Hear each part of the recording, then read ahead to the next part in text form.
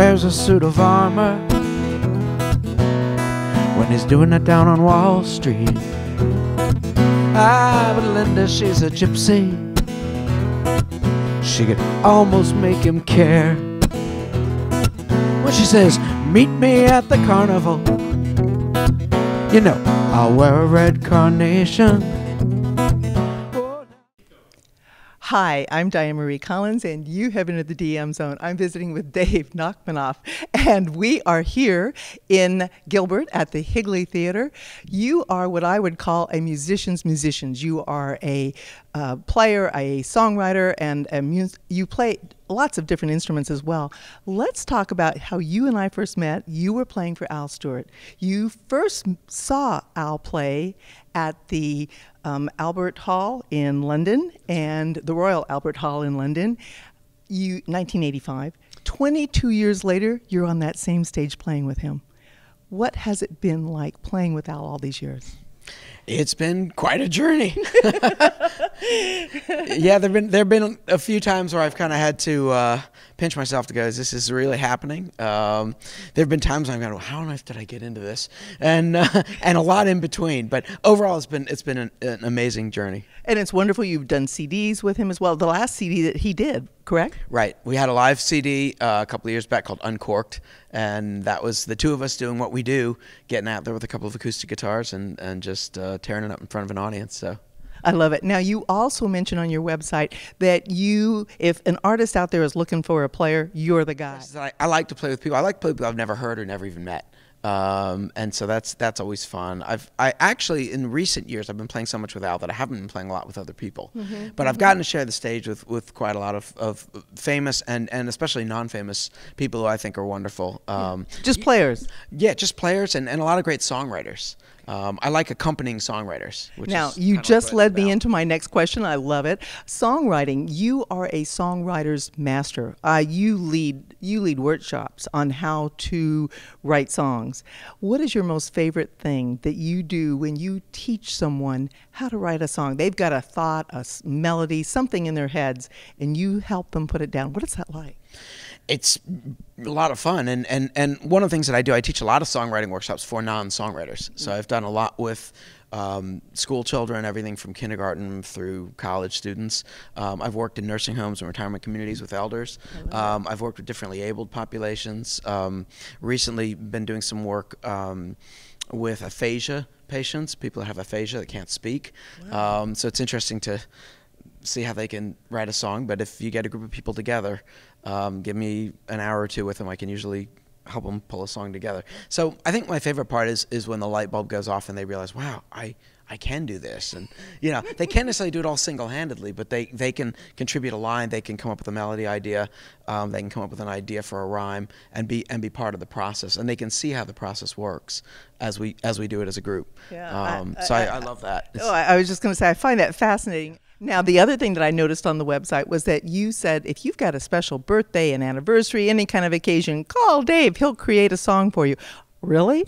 Yeah, that's one of the it's one of the one of the main things I do when I when I'm not touring and performing is I write and record custom songs for people, and that is that's been an amazing journey too because it's a very it's really a very great honor to me to be part of people's private worlds um, when they hire me to do a song say for their anniversary or for a wedding or for someone special. I've done a few that were um, pretty touching. You know, one there was a, a fellow who had. Uh, terminal cancer, and and uh, some friends of, of his family wanted me to write a song for him while he was still alive, mm-hmm. and I wound up actually not only writing the song but but going and performing it for him and his family, and it was. Uh, it was a little hard to get through, but it was it was just beautiful to, to be able to be uh, to contribute something to their lives in the form of a, a song that, that was something special. Right, right. And so, yeah, I mean, as, as I've been doing this for a number of years now, um, I've, I've got so many of these songs and, and stories and, and they all mean something to me to, mm-hmm. to be mm-hmm. part of these people's lives and, and so it's it is it's an unusual thing, I guess. But I think but it's, a wonderful gift that you're sharing. I think that's just so awesome. When I read that, I was just going, "Oh my goodness, I love it." It's it's fun and, and it is actually the perfect thing if, if somebody just needs a gift for, for someone that seems to have everything and they can't think of what to get them.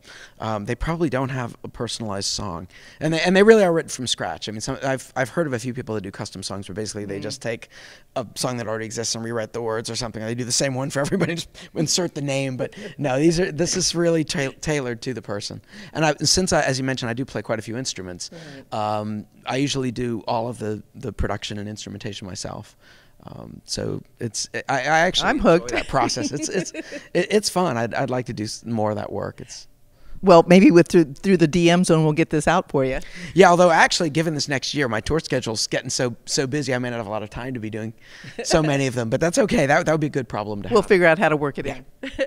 now, the other thing is that then if someone wants to reach you, um, I know that, for instance, my husband follows you on Facebook. Are you also on Twitter? And what's your website? My website is, is probably the best way. That's davenach.com, which is D A V E N A C H. So it sounds like Dave Nack, but it's, it looks like Dave Natch. D A V E N A C H dot com. Um, and that's probably the best way. I, there's a fan site and a friend site on Facebook. Um, I think I have the Twitter thing. I'm actually sort of a. a You're a bad Twitterer, is what you're telling me. I'm a bad Twitterer, right? I, I have someone else who helps me with a lot of the online stuff, and I think he does some Twitter posts once in a while. What do you call them? Tweets or something? But I Yeah, don't- we call them tweets. Yes. yeah. So cute. I'm just not quite hip enough to be on top of the Twitter thing. But well, you're hip enough for me, and I appreciate you taking time to spend time with me. thanks. It was lovely to see you again. It was good. And you have been in the DM zone. Now, I will tell you that Dave is going to play for us along with a couple of the guys that are here for this concert. So stay tuned and we'll put some in between. But you have been in the DM zone. Come back soon.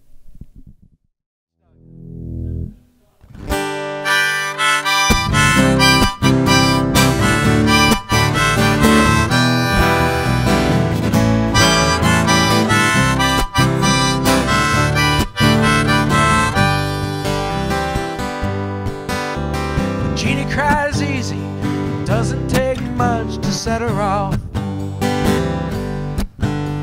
Steven seems to know how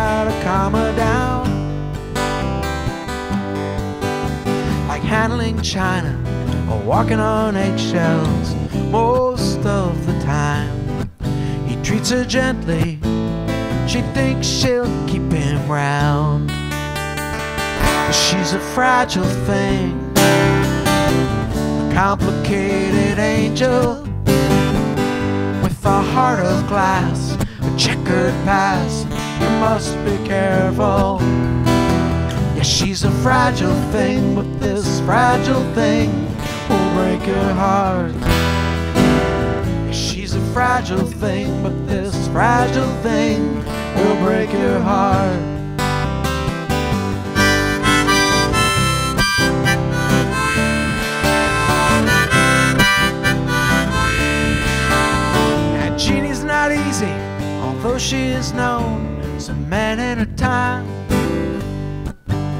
Close, she always disappears. Sleight of hand, prestidigitation, a puff of smoke, a cloud of ink whenever someone nears. She's a fragile thing, a complicated angel with a heart of glass, must be careful. Yeah, she's a fragile thing, but this fragile thing will break your heart. Yeah, she's a fragile thing, but this fragile thing will break your heart. And nothing is easy. It seems she's hardest on herself. She wears her pain and grief upon her sleeve. But Stephen is not like the others, and this could be different. But it's gonna take time till she knows what her heart can believe.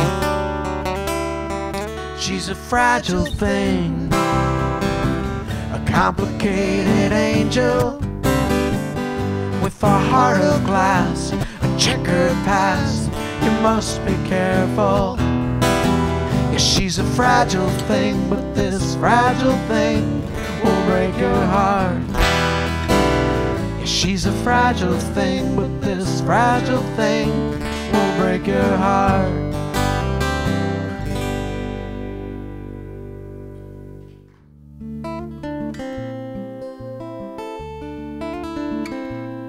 Well, it's good to be a stranger a strange land. Like a person, incognito, or a masked man. Like an actor in a play. Who shall I be today? It's good to be a stranger in a strange land. Yeah, it's fine to be unknown and all alone here with no fixed address, no fax, no telephone here. Like Descartes in Amsterdam, or a robber on the lam. It's fine to be unknown and all alone here. But you can call me a tramp or a vagabond. Well, I don't care, cause that's the life that I choose. You can call me a scout or a layabout, but I've got nothing that I own, and so I've got nothing I can lose.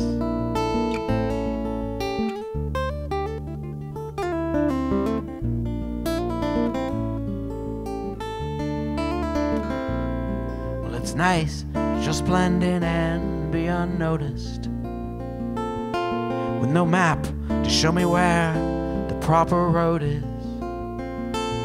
With the sky above my head and a park bench for my bed. It's nice to just blend in and be unnoticed. But you can call me a tramp or a vagabond. Well, I don't care, cause that's the life that I choose. You can call me a scout or a layabout, but I've got nothing that I own, and so I've got nothing I can lose. I've got nothing I can lose. I've got nothing I can lose.